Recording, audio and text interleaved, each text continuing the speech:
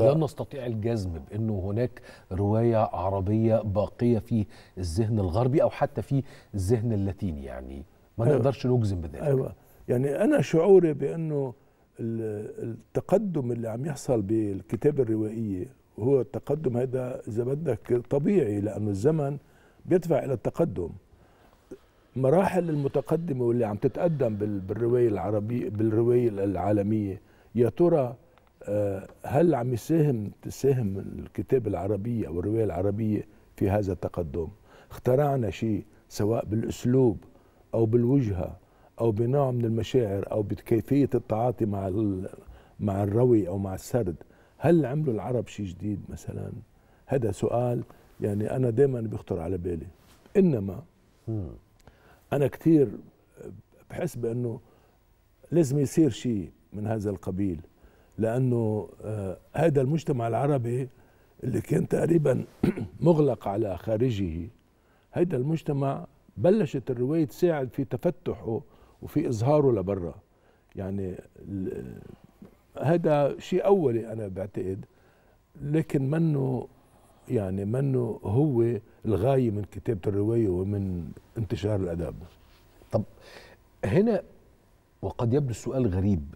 كيف يكتب الأستاذ حسن داوود؟ يعني ساعات يجي على على ذهني الفكرة إنه الكاتب يكتب فقط آه، دون أن ينتظر المردود سواء إذا كان في القارئ ال- ال- الناطق بالعربية أو الذي يقرأ العربية أو المردود على المواطن العالمي الذي يقرأ أدبه مترجما. لكن كيف يكتب الأستاذ حسن؟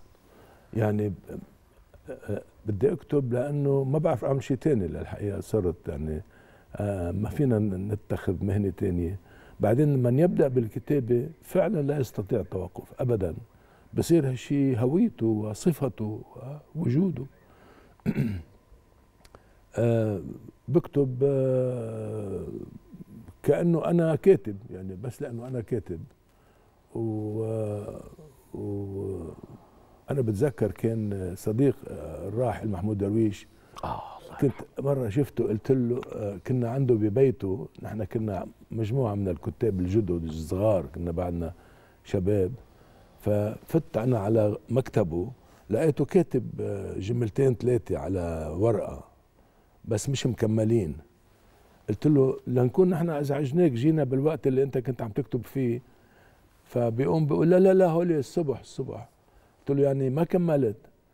بيقول لي هو آه، أنا كل يوم بقعد كل يوم بقعد وهذا شيء جديد لأنه أنا بتذكر الطهطاوي لما راح على فرنسا. على باريس. فقام حكى على المثقفين وقال تعجب كيف بيشتغلوا المثقفين بفرنسا بباريس. بيقول بيشتغلوا مثل كأنه الفاعل بيشتغلوا بالفاعل. يعني شغل الثقافة مش ترف ومش دلع ومش هو مجهود يعني فمحمود درويش عودة له كان دائما يقول إنه أنا بكتب كل يوم سواء نجحت يعني أنتجت ولا ما أنتجت.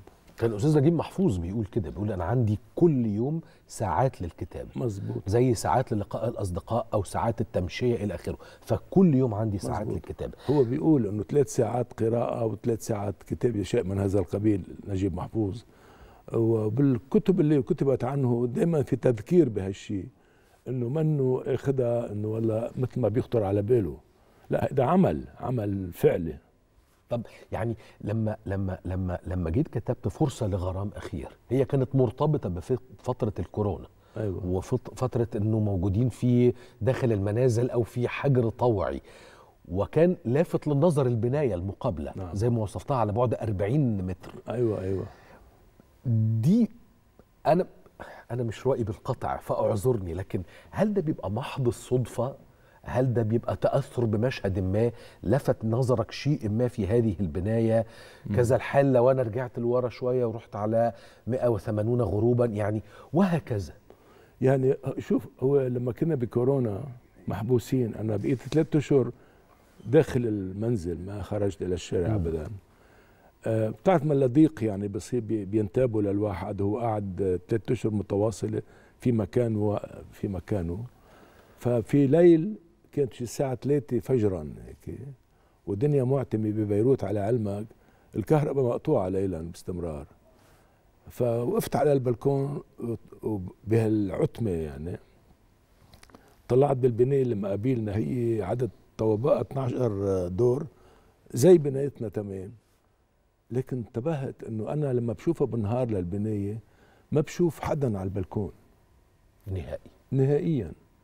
وكان هالشيء اجى مثل الصدمة إنه طيب الناس ممنوع تنزل على الطرقات لكي لا يعدوا بعضهم بعضا. بس بيطلعوا يطلعوا على البلكون بدون ما يأثر عليهم ما بيأثر على الكورونا. لكنهم ممتنعين عن كانوا عن ذلك. فكانت الفكرة الأولى آه، الفكرة القوية حقيقة. إذا قدرت يعني تستخلص منها آه، كتاب. فطبعا بدك تدخل أشياء أخرى طبعا. لهذه الفكرة تصير يعني حرزانه لكتاب ما بين واقع وخيال. طبعا بدك تنت بدك تفكر تجيب أشخاص آه، مقيمين في المكانين وتنشئ بينهم علاقة أو علاقات ويعني إلى فأنجزنا كتابة آه، هاي الرواية هي روايتي الأخيرة. آه, آه وأنجزت بسرعة. يعني أنا عادة ربما بسبب كورونا أنك أنت كمان هالمرة مضطر تقعد بالبيت وما تظهر. ف انجزت بسرعة. يعني عادة أنا ببقى بكتب الرواية سنة ونص أو سنتين يعني. هيدي آه، خلال أربع خمسة أشهر كانت خالصة.